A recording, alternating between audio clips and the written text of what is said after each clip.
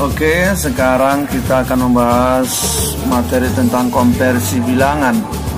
Konversi bilangan ada kemarin soal dalam simulasi ujian nasional ada penjumlahan bilangan biner seperti ini. Kemudian bilangan oktal seperti ini, simbolnya angka 8 hasilnya nanti ditanya adalah berapa desimal. Oke berarti dia bilangan desim biner ditandai dengan 1010 2 kemudian 321 bilangan oktal sama dengan berapa desimal? Oke langsung kita bahas. Biasanya untuk menyelesaikan paling gampang sebuah bilangan biner menjadi bilangan desimal kita gunakan harga tempat. Dengan tabel harga tempat. Cara pembuatan harga, harga tempat kita tinggal tulis seperti ini. Oke ikuti cara seperti ini. Satu langsung kita tuliskan bilangan binernya dipisah agak jarang-jarang. Satu nol satu nol satu nol. 1 0 tuh 2 3 4 5 6 7 8 1 2 3 4 5 6 7 8 oke. Kemudian harga tempatnya kita buat. Biner itu kan harga tempat seperti ini. 2 pangkat 0 2 pangkat 1 2 pangkat 2 2 pangkat 3 2 pangkat 4 2 pangkat 5 2 pangkat 6 2 pangkat 7 seperti itu. Maka berapa? Dua pangkat nol. Ini kan satu. Ini satu. Dua pangkat satu dua. Dua pangkat dua empat. Dua pangkat tiga delapan dua pangkat empat enam belas. Dua pangkat lima tiga puluh dua.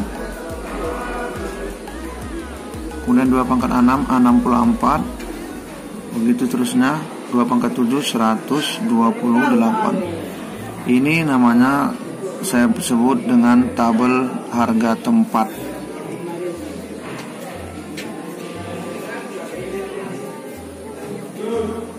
Ini dia tabel harga tempat. Nah ini dia. Ya saya jelaskan lagi Harga tempat itu kita ambil dari dua pangkat 0 Kenapa kita buat dua? Karena dia bilangan biner Jadi dua pangkat 0, dua pangkat 1, dua pangkat 2 Seterus sampai seberapa banyak biner yang akan mau kita konversi menjadi bilangan desimal. Di sini ada bilangan biner 8, maka kita buat kita susun seperti ini sesuai dengan soal. Kita susun buat harga tempatnya. Kemudian berapa desimal? Desimalnya kita cari seperti ini. Langsung yang kali dikalikan ya. 2 pang 1 kali 0 0. 2 kali 1 2. 4 kali 0 0 8 kali 1 8 16 kali 0 0 32 kali 1 32 maka kita yang kita jumlahkan ini adalah yang bilangannya 1 seperti ini. Yang satu ya kita perhatikan. Berarti yang kita jumlahkan 128 yang hidup langsung kemari kemudian 32 kemudian yang 8 kemudian yang 2 Ini kita jumlahkan. Yang 0 nggak perlu kita jumlahkan Karena semua bilangan dijumlahkan 0 tetap. Oke Ini dapat 32 tambah 8 40 40 tambah 2 40 tambah 2 42 170 bilangan desimal. Nah, itu jadi untuk yang ini, untuk bilangan ini, bilangan biner ini hasilnya sama dengan 170 desimal.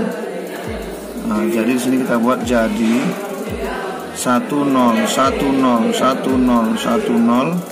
itu sama dengan bilangan biner sama dengan 170 bilangan desimal.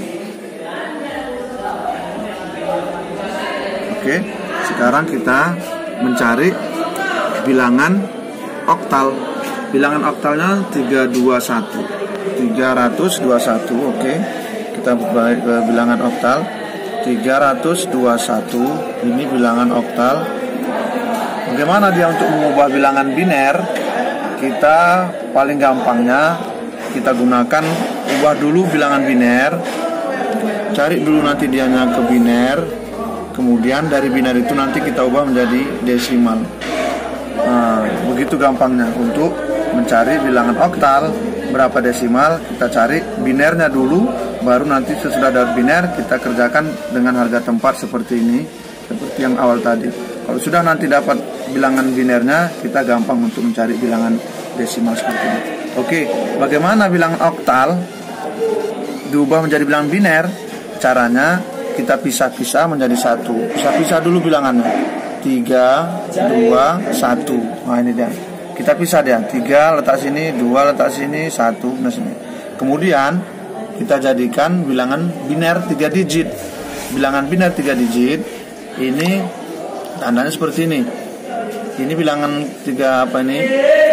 Angka tempatnya kan harga tempatnya ini. Satu dua empat tiga digit. Ini kita lihat. Ini yang tiga digit yang kita ambil ini aja. Satu dua empat. Tiga digit. Nah ini kita tutup untuk sementara. Tiga digit dia. Untuk mengubah bilangan heksadesimal oktal oktal untuk mengubah bilangan oktal kita pisah-pisah terlebih dahulu bilangannya menjadi bagian-bagian masing-masing. Kemudian setiap bilangan oktal kita ubah menjadi tiga bilangan biner. Kalau berdasarkan harga tempat harga tempat seperti ini. Ada 1, 2, 4 ini metode harga tempat kita buat. Berarti untuk mendapatkan angka 3 itu angka 1, 1, 0 nah 1, 1, 0 Kenapa? Ini kita kembali seperti tadi di atas. Setiap bilangan yang satu Kita tinggal kalikan di atas. Kalau 0 dia kalikan 0 Maka di sini nampak dia nanti satu kali satu satu. Dua kali satu satu. Dua maka satu tambah dua sama dengan tiga. Oke kemudian kita cari yang dua. Kalau dua gimana? Berarti yang hidup satu eh, nol satu nol. Ini dia. Ini satunya mati duanya hidup. Dua nah ini hidup.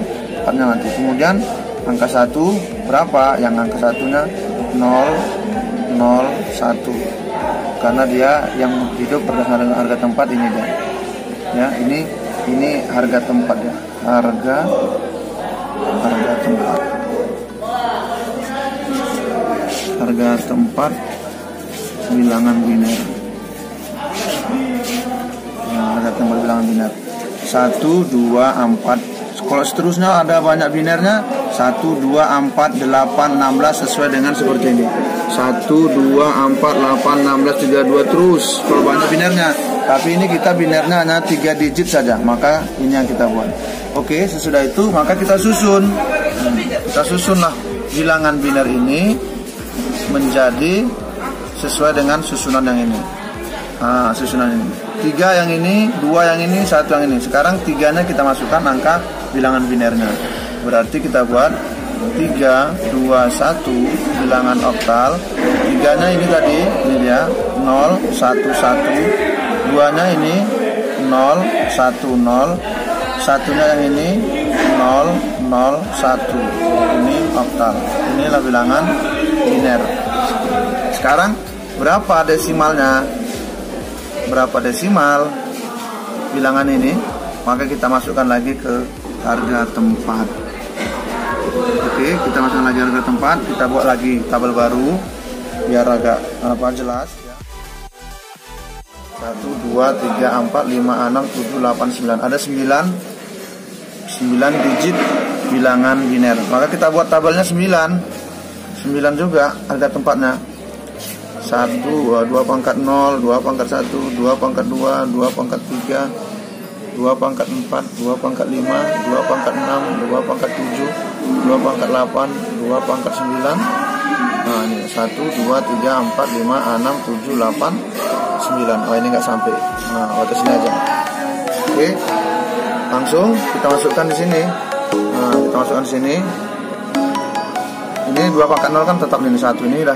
1 2 4 8 16 32 64 128 128 dan ini eh, 128 ini kita anggap aja berapa ini A6 128 kali 2 ini. 2 sama dengan 16 5 2 2 5 A6 ini kita buat oke.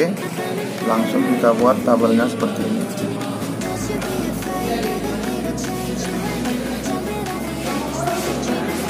nah tabel harga tempat yang kita buat. Berdasarkan berdasarkan bilangan biner yang jadi tadi. Sekarang kita masukkan bilangan binernya. Mulai dari pinggir. Ini ya. Kita masukkan yang di atas ini ke dalam kotak-kotak ini. 1 0 0 0 ya. 1 0 0 0 3 oke kemudian satu lagi. Kemudian 0 lagi. Ini 1 ini 1 ini 0 sudah sudah dapat dari sini. Maka kita hidup yang kita jumlahkan adalah yang e, binernya satu. Kalau yang nol dia nggak usah kita hitung. Karena nanti setiap yang dikalikan nol akan menghasilkan nol. Oke ini satu. Mari satu. Kemudian ini hidup 16 kemudian ini hidup 64 kemudian ini hidup 128 ini kita jumlahkan kita jumlahkan kita jumlahkan. Maka dapat jumlahnya adalah 200 209 bilangan desimal oke sudah dapat? Sudah dapat hasil dari ini. 0110 ini tadi 321 oktal kemudian 011 biner kemudian hasilnya 209 209 bilangan biner. Apakah sudah selesai? Belum. Sesudah ini bilangan biner, bilangan desimal, kemudian yang tadi juga bilangan desimal, ini bilangan desimal.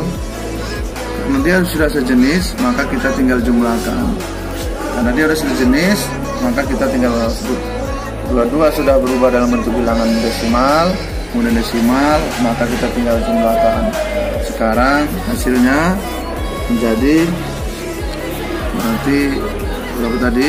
Ini ini sama dengan 170 bilangan desimal tambah yang 321 tadi total itu bilangannya ada 209 nah 200 ya 209 bilangan desimal.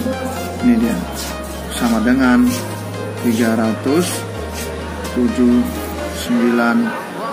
bilangan desimal.